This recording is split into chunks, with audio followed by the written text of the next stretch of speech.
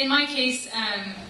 he had a really unique plan, and he wanted to use that song that we wrote about pain and suffering. Uh, and a girl decided to use it on the show so you think you can dance. Um, she used it for her audition, and then because of that, the song ended up on the radio. And then uh, people from all over started to write us letters and tell us their stories about how they were in the middle of a really awful time in their life and just going through a lot of pain, and that they heard our song on the radio and God used it to bring healing to them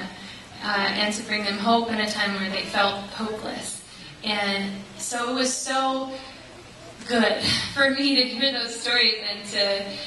to remember the time when I couldn't understand why God wasn't answering my prayer to take away my pain, and I know now that He allowed me to go through that so that I could write a song about it, and so He could use that song to touch the lives of thousands of people. And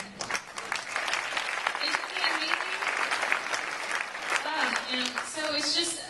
a great reminder to me that